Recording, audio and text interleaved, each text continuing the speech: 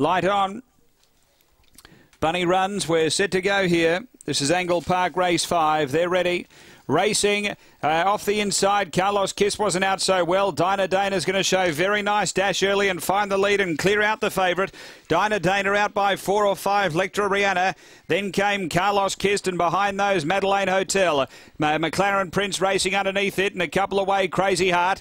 Then Harry's Comet and last is Crimson Star. Down the back leader Dinah Dana out by three. Carlos Kiss chasing through. A couple away McLaren Prince and then came Lectra Rihanna. Up to the bend. Dinah Dana's going to straighten in front. Carlos Kiss making a race of it. Dinah Dana, Carlos Kiss, McLaren Prince flying late. McLaren Prince right up on the rail has finished too well for Dinah Dana. And then